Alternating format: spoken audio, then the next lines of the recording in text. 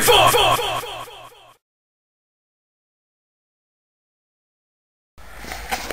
Alright, this is uh, James Ronald and Malcolm Jameson giving our uh, last will and last will and testament. I don't do this shit for camera, son. It's real life. I just want you to know I split my pants.